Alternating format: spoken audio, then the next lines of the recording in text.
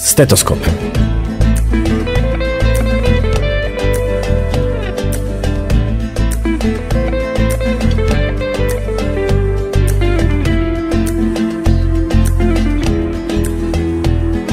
Dobro mi došle, poštovane slušateljice i slušatelji. Evo nas u još jednoj emisiji, govorimo o zdravlju. Današnja emisija obojena je u ljubičasto. Zašto? Zato što govorimo o ljubičastom danu. Ljubičasto nam je tijekom cijele godine jer smo osviješteni, želimo se u stvari što više informirati, naučiti, educirati, a tko će nas bolje educirati nego zagovornici i predsjednici udruga koji promiču i koji nas educiraju svakodnevno. Izuzet nam je čas, sa mnom je gospođa Pamela Pipan, zagovornica Hrvatske udruge oboljelih od epilepsije i predsjednica udruge podrške oboljelih od epilepsije Pula. Ključna riječ nam je naravno epilepsija. Pamela, dobro mi došli. Dobar dan i hvala na pozivu. Kako ste najprije da pitam? Pa dobro sam, evo, uzbuđena, e, sva sam u planovima, u organizaciji, meni prvenstveno najvažnijeg dana, to je ljubičasti dan jer sam taj dan prije četiri godine provela u bolnici i tad sam u biti e, vidjela da se epilepsija u biti ima svoj dan.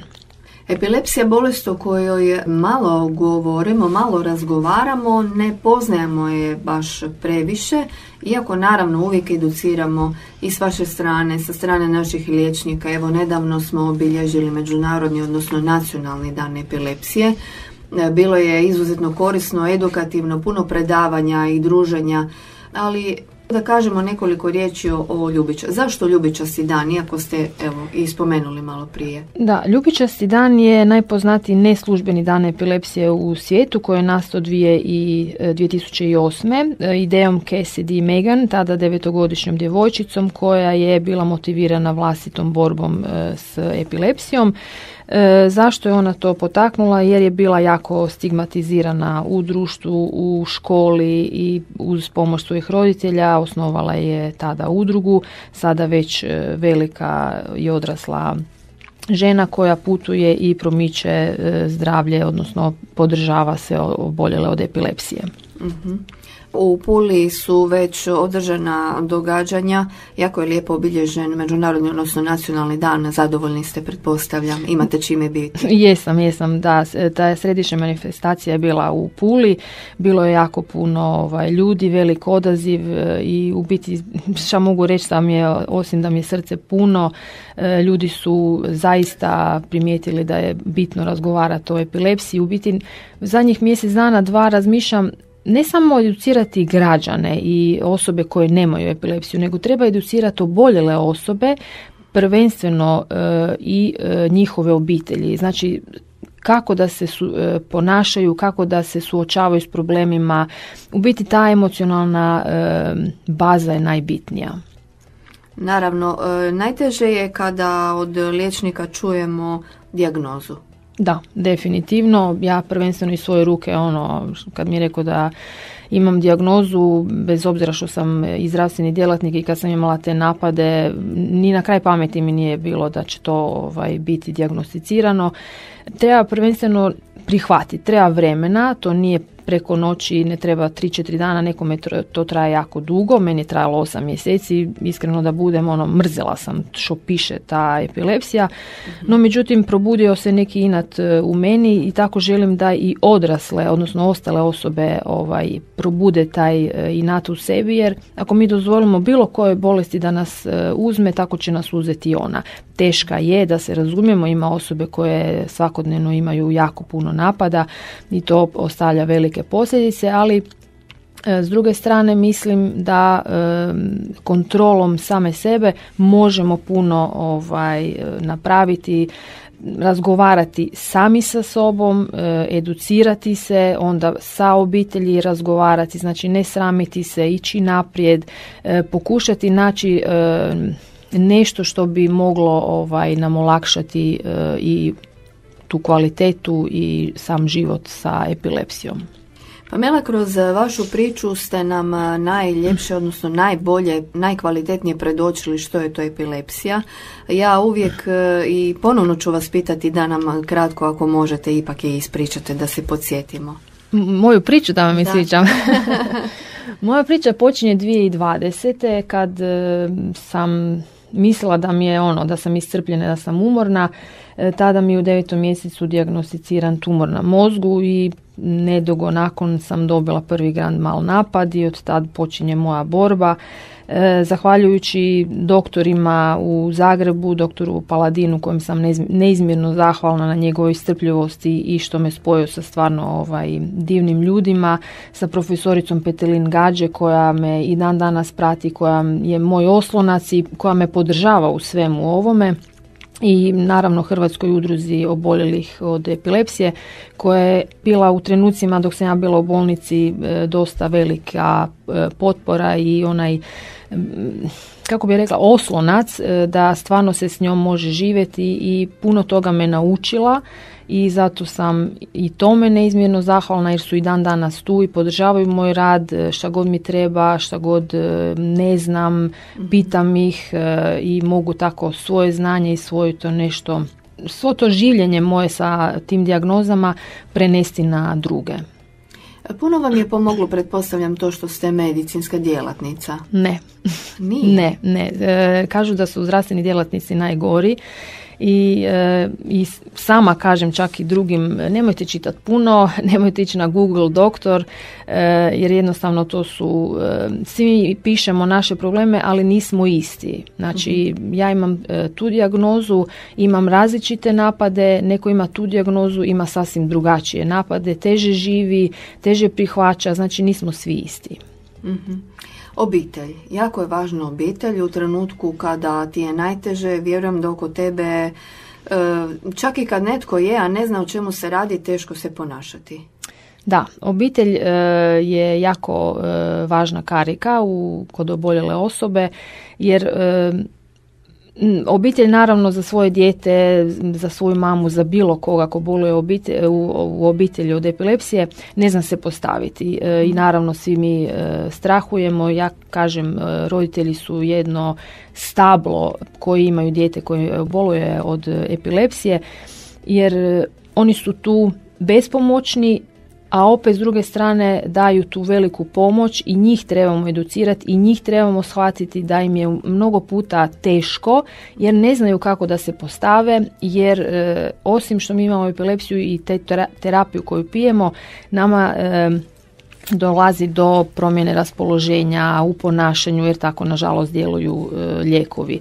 I onda opet kao što sam prije rekla ta karika obiteljska treba puno edukacije puno razgovora, puno spajanja roditelja jedni s drugima da si olakšaju i na koji način mogu pomoći ovaj, svom djetetu ako se radi o djetetu ili svojoj e, mami i tati ovisno o kojoj odrasloj osobi se radi.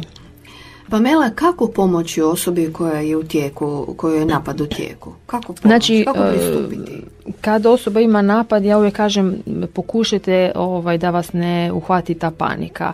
Moramo, e, vrlo bitno je da moramo pratiti e, vrijeme napadaja, znači koliko on dugo traje, spriječiti tjelesne ozljede na onu, prvo, prvenstveno glave, jer glava se trza i ima, znači moguće se ovaj, ozlijediti, znači stavljamo neku mekanu ovaj, stvar ispod glave ako smo imamo jaknu ili deku ili jastuk bilo šta i e, osoba koja ima napadaj treba ići u bočni položaj i nikakve predmete ne stavljati u usta. Znači to je e, zlatno pravilo jer tako sprječavamo daljne i druge ozljede da ne bi e, nešto ušlo u dišni sustav mhm. i ne pokušavati smanjiti te kontrakcije e, mišićnih jer e, trebamo pustiti da mišići sami se e, smire, da jednostavno pustimo da taj napad samo odradi svoje. Naravno ako traje više od pet minuta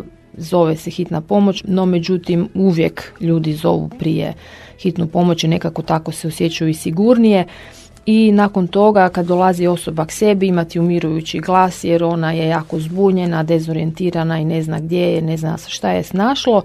No međutim osobe koje imaju epilepsiju one vrlo brzo ovaj, dođu k sebi ali su umorne i pospane i onda treba pustiti osobu da spava. Pamela, koliko može trajati taj napad? Koliko, da li minuta, dvije, do, rekli ste sad do pet minuta? Da, pet minuta to su ovaj oni Najteži. Da, naj, e, najduži, najteži oblicima, a znaju trajati, da, minutu, pola minute, sve ovisi kakav je. Ako je grand mal, on traje duže, ako je recimo zagledavanje, to zagledavanje može biti pola e, minute, 45 e, sekundi, neke pute zna traja duže jer je u razmacima i mi ne primijetimo to. Recimo ja vam trzajeve koje dok pišem ili čitam mi noga ovo, poleti ili ruka, e, najviše to trzanje po noći vi primijetite tako jer i ugrizete se za jezik. E, ima puno, puno vrsta i to možemo ovaj dugo razgovarati o tome.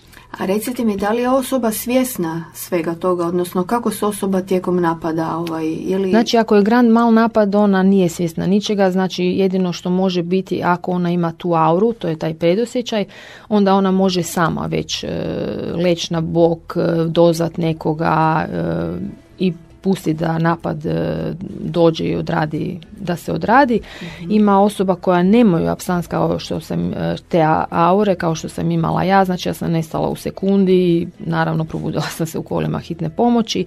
Ima neki koji su na pola, znači znaju da je napad tu, svjesni su, a ne mogu apsolutno ništa napraviti. Mhm. I ove druge, ove što sam rekla, neko tipo mljackanje, e, jednostavno tu si, ali nisi prisutan, čuješ da neko nešto govori, ali ne znaš šta. Dosta je tih e, vrsta napada. Znači različito je. Različito je, da. I ono što sam htjela reći, nakon napada e, treba naravno pustiti da se čovjek smiri, naravno i okruženje treba biti mirno, tiho, da li mračno ili kako to?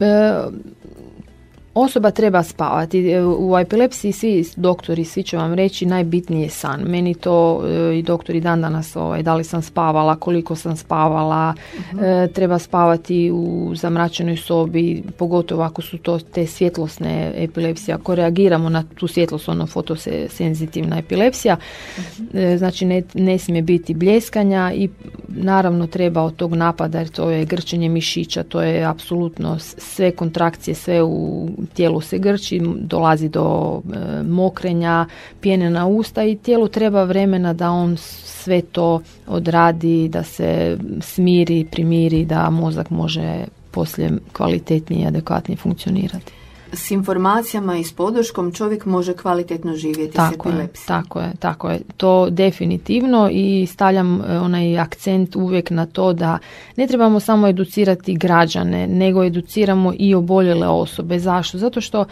e, tu je to prihvaćanje i to shvaćanje jer ja znam da postoji bijes i ljutnja, evo opet sam dobila napad, šta da radim, šest mjeseci nisam imala ništa ali ako mi imamo epilepsiju, svjesni smo da će nas e, napad kad tad uhvatiti. Mi trebamo biti sretni, ok, nemam napad, neće mi doći, ali prihvaćanjem, ok, odradila sam napad, idem spavati i odmorit ću se i sutra će biti ovaj novi dan. Opet govorim za one epilepsije koje mi možemo kontrolirati. Za neke vrste epilepsije i za e, osobe koje imaju poteškoća ovaj, Naravno da njima je potrebno na prvom 24 sata i da tu ne možemo ništa napraviti, ali možemo dati podršku i potporu obitelji i osobi koja je ovaj, u takvom stanju, ali osobe koje imaju dijagnozu i funkcioniraju pod navodnicima ok, e njih trebamo ovaj, educirati približavati s drugim ljudima. Ja vidim, svi smo tu, ali opet neću reći da ja imam epilepsiju, kao taj sram je još uvijek i on će biti nažalost e, prisutan, ali ako smo, što ja kažem, dosadni pod navodnicima, mislim da se to može jako puno toga napraviti. Može, ja sam također sigurna da može. Još sam htjela jedno pitanje koje je dosta bitno, a to je kako je epilepsija, odnosno koji mogu biti uzroci, odnosno razlozi. Da li je to genetski, da li je to neki događaj koji je neki šok, neki... Ima i genetske predispozicije, to svakako. Tu su naravno i ti sindromi koji se mogu tvrditi u trudnoći. Sad je pitanje da li će dijete imati to prikazano i će se to pojaviti kasnije. Znači epilepsija može doći kao sekundarna dijagnoza nakon trauma, nakon ozljeda mozga, moždanih udara. Ima puno tih e, stvari, odnosno razloga, zašto mhm. ovaj dolazi. Evo ja sam, mhm. kažem, imam taj, tu dijagnozu tumora na mozgu koju sam evo operirala, ja se nadam da će to sad sve biti ok. Znači evo to je ta neka poveznica između, u biti mi možemo dobiti epilepsiju neovisno da li imamo neku traumu i ona se nažalost može pojaviti u bilo koje doba, da li to bilo ovaj, kao u ono, mlađoj populaciji, e, srednjoj populaciji, odrasloj populaciji, tako da mi o tome stvarno ne možemo niti... Da, ne možemo znati. Da, ne možemo znati. E, pred nama su aktivnosti koje su jako pohvalne kao i one koje su iza nas. E, doista čestitke na svemu što ste odradili. Odradili ste doista velike i lijepe stvari, Hvala. E, jake poruke. Pred nama je dakle dan u Ljubičastom. Tako što ste isplanirali? E, ove godine ćemo opet napraviti na lungomare, znači vježbamo sa aplabom, imat ćemo i na puhance jer imamo jako puno mladih ljudi, dječice koje iz, e, idu u osnovnu školu, radionice dječje, hodanje po šetalištu uz more, naravno to druženje sa raznim promotivnim materijalom na štandovima, e, leci i naravno što, ono što ja kažem najbitnije da se družimo, da dođete ne samo ovaj, oboljele osobe nego i građani, da u biti budemo tu, da smo svi mhm. zajedno i da nismo ovaj odmaknuti od društva i to nije samo taj dan 26.3. ćemo imati Zoom e, razgovor, to su naši ljubičasti razgovori. E, link se može e, skinuti sa stranicama Hrvatske udruge za epilepsiju i naravno nastavljamo sa edukacijama i u gradskoj knjižnici 10.4. će biti od 5 ili od 6 sati, još nismo ovaj dogovorili vrijeme. E, tokom cijele godine e, planiramo provoditi razna edukativna predavanja, radionice, možda i čak neki eventić 9. i 10. mjesec. Ali o tome ćemo kasnije. Da, to je nešto jako lijepo, da, ne to je izne, još da, iznenađenje. Doista divno, evo to možemo potvrditi. E, Pamela, e, ono što ste vi napravili doista to je edukacija koja je ključna za sve nas i želimo da ove informacije dopru do svih. E, balone ne smijemo zaboraviti. Ne, balone nikako. Baloni su ovaj zaštitni znak i oni su uvijek s nama. Gdje god mi idemo uvijek ćete vidjeti da su baloni tu jer opet mhm. kažem, meni su oni uljepšali taj dan i boravak u bolničkom okruženju, tako da oni e, za mene su vrlo e, bitna i emotivna stavka kao i mali krug velikih ljudi. O, to definitivno, ta e, pjesma, evo sad se naježila, ona je došla, ne znam ko da je poslana od nekoga, evo žao mi je što Masimo nije sa nama, da on vidi i čuje koliko je to ovaj, nama bitno, vjerujem da i čuje i vidi i podržava nas u svemu. Ono što ste vi sa svojim primjerom, sa svojim životom, događajima podijelili s javnosti, e, doista je velika stvar i puno ste napravili za svakoga tko je obolio, odnosno mm tko ima epilepsiju i za obitelji, odnosno sve nas koji moramo znati one osnove, primjerice netko padne na cesti ili što se to događa, dakle osnovno je da ostati smiren i pomoći na način na koji ste nam evo vi rekli. Da. E, je, e, ovo što sam ja pokrenula to je biti neka moja misija i jednostavno sam je prihvatila i rekla sam e, da ću je pratiti i nije mi žao, evo iskreno nije mi žao, neko mi kaže joj pa šta ti iznosiš svoje zdravstveno stanje i tako dalje, prihvaćam razmišljanja drugih, međutim ja vidim da se o epilepsiji apsolutno ne govori. E, podrška treba biti svakome, ne samo oboljeloj osobi od epilepsije, to može biti bilo koja vrsta bolesti i mi moramo naučiti pomoći bilo kojoj osobi koja padne u nesvijest, jer to ne, može, ne mora biti samo epinapa, to može biti srčani udar, to može biti moždani udar, to može apsolutno biti sve.